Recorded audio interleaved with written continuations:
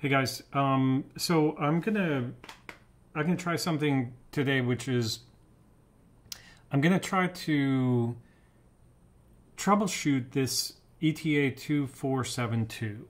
So I have two ETA two four seven twos. I did hours and hours and hours of work with these without ever really completely disassembling a movement.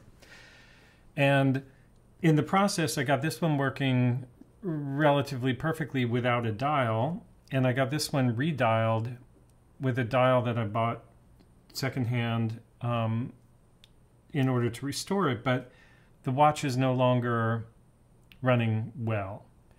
It looks like it's running, but actually the hour hand is not, or the the, the hands are not moving. So there's something wrong with the um, keyless works and, and failure to re-engage. And it's also running with extremely low amplitude and also um, runs better or worse depending on if it's in uh, upside down or face side up position. So I don't really know what's problem with it, but I'm prepared now to start to dig into it and try to.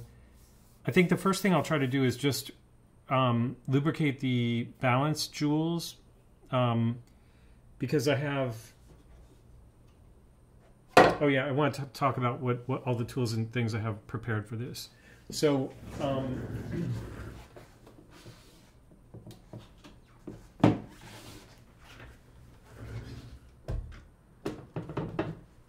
iPhone gives me slightly better ability to show you what's over here. But um, that's my video setup that's how I can kind of watch what I'm doing while I'm doing it to share that with you. And then over here I have some cleaning uh, isopropyl alcohol, also referred to as IPA, a jar for that, some Fixodrop, which is um, Epilame, basically, some B-Dip, which is for cleaning um, pallet, fork, and uh, impulse jewel.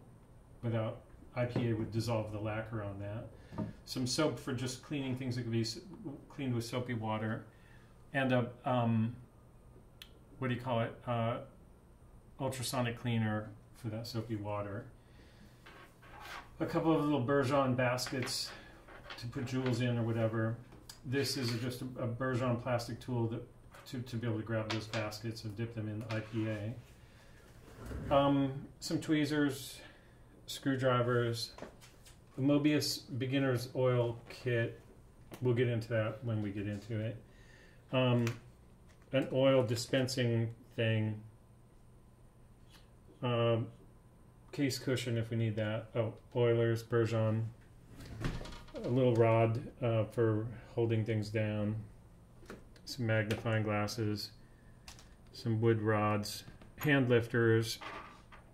Movement holder. Dial holder from Cousins, a little stand for the tools, time grapher, uh, some Bergeon parts holders, and some rubber mats for keeping track of screws. And then on the computer screen, um, probably the most important thing for this job for me is I have a watch repair I have a video of Roger Smith open. Um, I have some watch repair talk uh, tutorial, not tutorial, but like somebody did a ETA 2472 um, disassembly and reassembly, and they, they on watch repair talk. So I'm going to reference that whenever I need it and I think that that has enough detail in terms of screws, what they look like, where they go, that I can kind of, I probably won't have to refer back to the video to figure out, or, or, or pictures to figure out where things came from, in particular because I'm pretty familiar with this movement. Um, so I also have finger cots, but I'm not going to put those on until I get to the after the cleaning and reassembly. And then with the time grapher, I'll just show you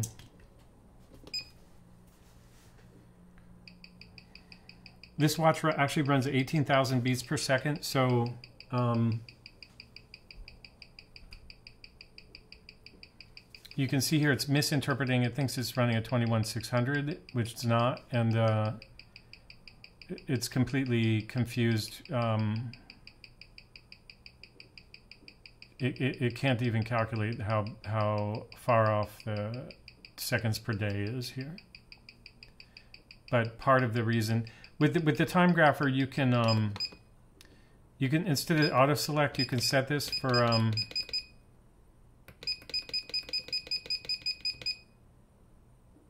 Eighteen thousand.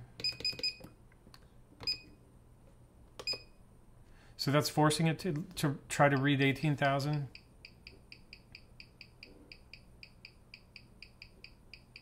But because of the low amplitude or something, it's still, it, it, it's not, it's not able to make sense of it.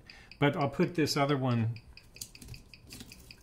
on it just to show you. So this is the same ETA 2472 movement.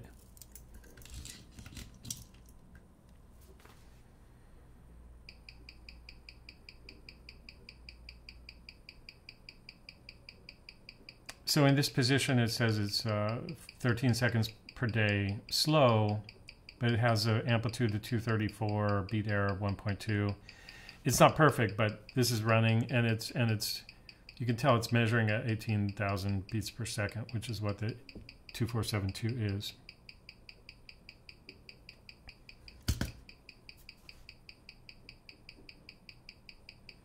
And in that other position, it was running a, a little bit slow. Now it's running a little bit fast.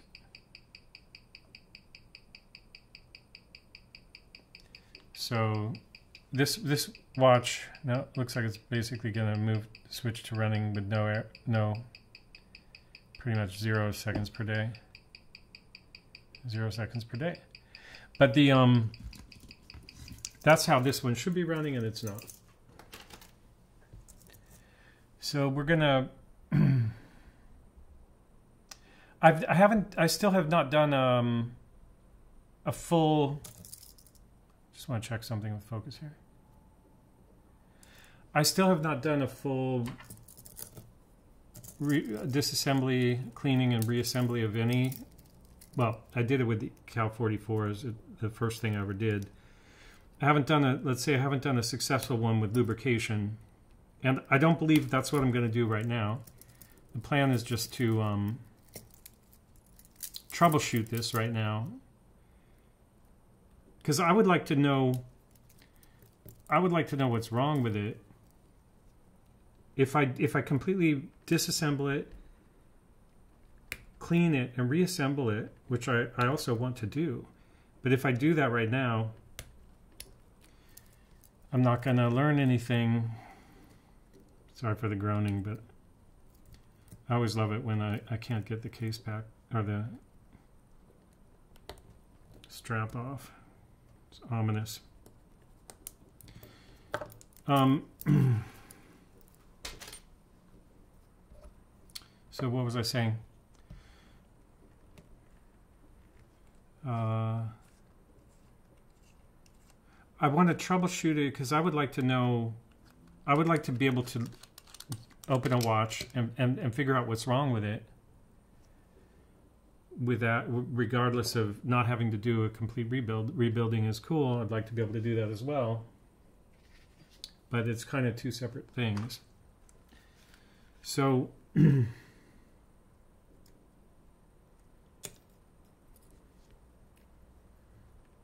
can see the amplitude is super low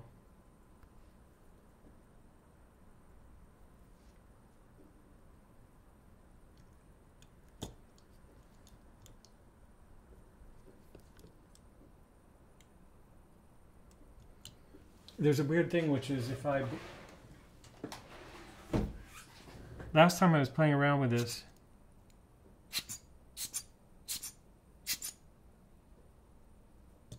Okay, amplitude is still low like that.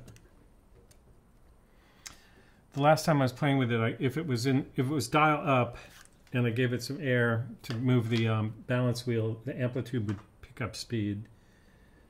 Um,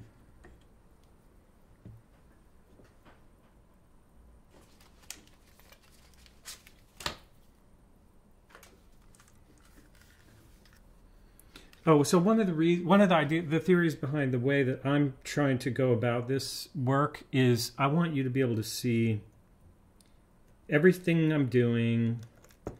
I want to make long edits of these things. So if if you're thinking about doing watchmaking yourself, you can watch one of my videos and you can imagine the whole process because you can see me going through the whole process in real time. And I know it's long and boring, and that's just part of the um, challenge for me of trying to to learn and do it relatively quickly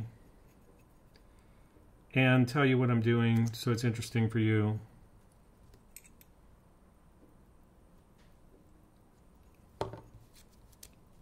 And then of course I can do cut downs and and I did a cut down of the of the Cal 44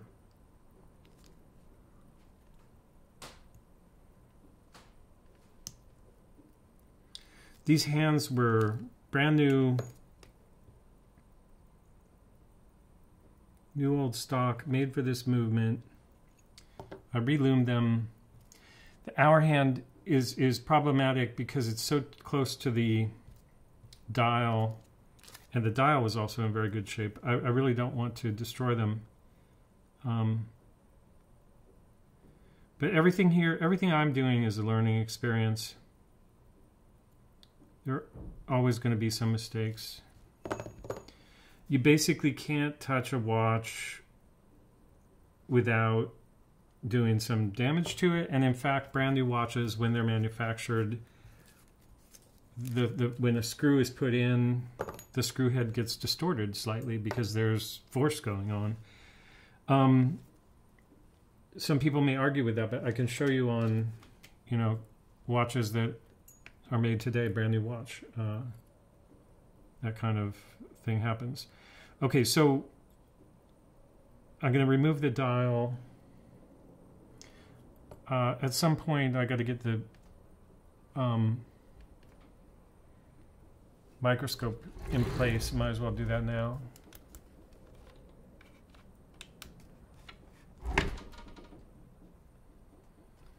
That looks like it needs some, oh, it's going to do some auto color. That's interesting.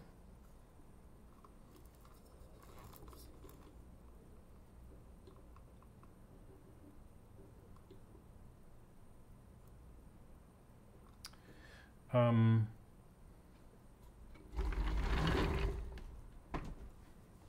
set that aside for now. The reason I wanted to look at that is the the dial screws on this. Oh, actually, okay. First of all, one one step at a time. Uh,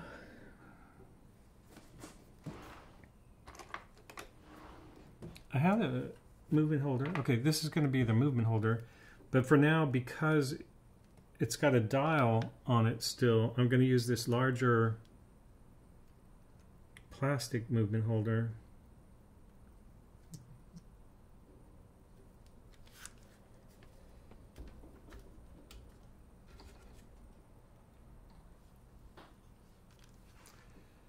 And that's so I can get to these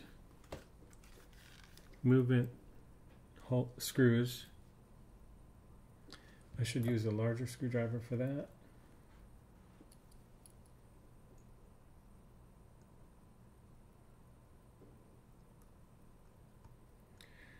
I don't think I need to remove that right now.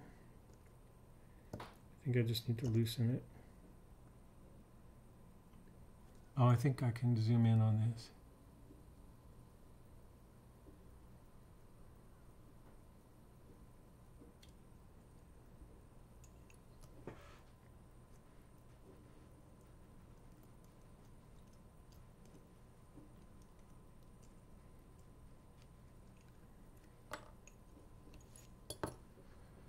Okay, now with that movement ring off, we can reach these dial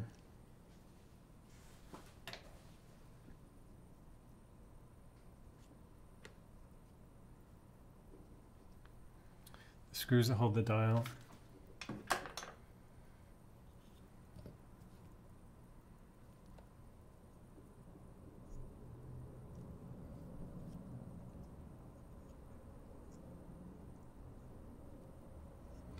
So they are, there's one here and one opposite that. And let's try this with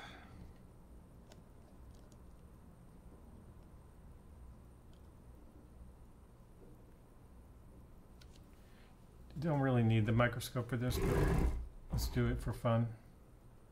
Oh, I need to I need to set it, I don't want it to constantly be changing its white balance. So I'm going to put something white here. Oh, that's hilarious. this is magnetic. Um, I'll white balance it with this light on and can I do it here?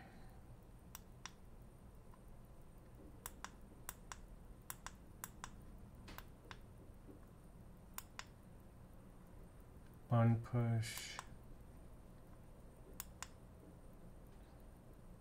Okay. Now I just need to hit menu. And it should hold that, but we'll see.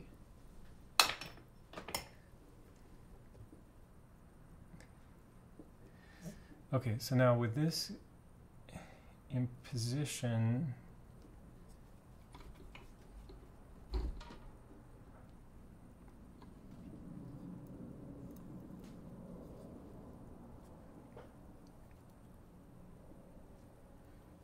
Now the cool thing about the microscope in this position is I can I can actually use the microscope so I can see exactly what you see and I can see what I'm doing.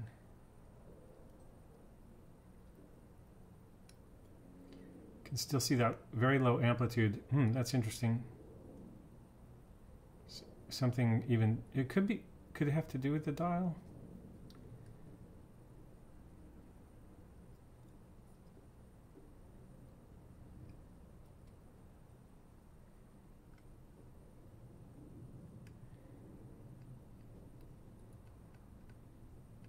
We'll soon find out.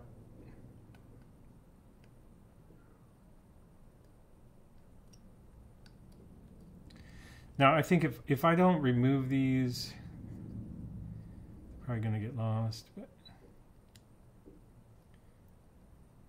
see how that's free now from that dial pin?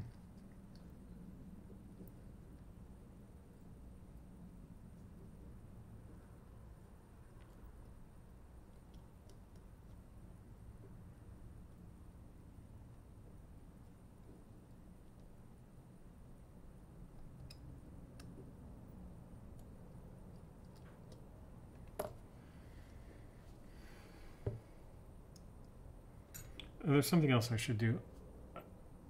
I never did take the automatic movement off of this. Um, oh yeah, I did.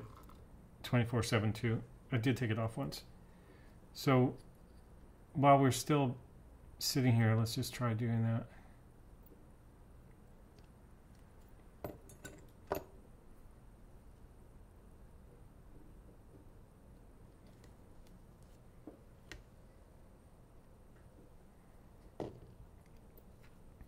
I'm gonna try to remember that the blue that that screw was blued and it's on the side with the gears here, because opposite that, it's not blued.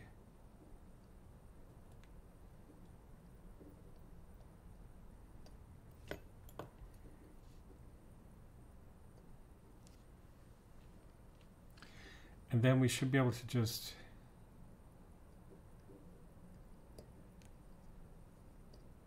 think the automatic move winding mechanism comes off at this point.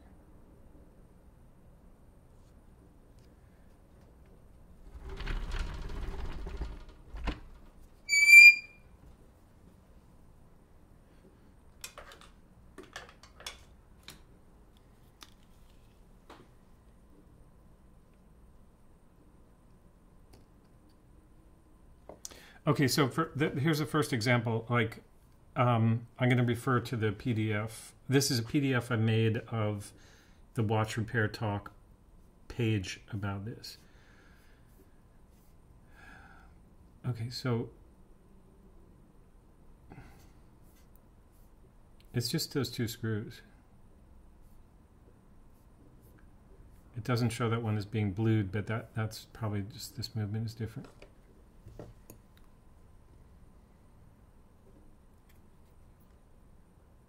So I should be able to pry this where? Here?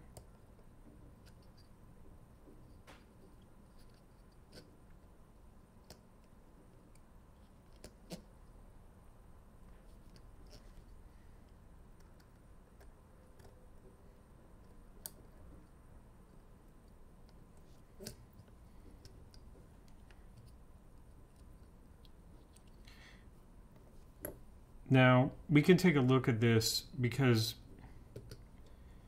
in the example here in the PDF,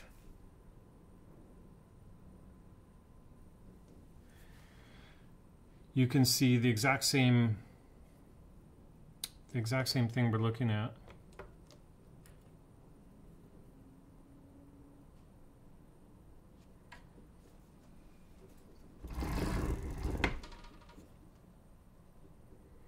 Oh wait, this is what I want to look at.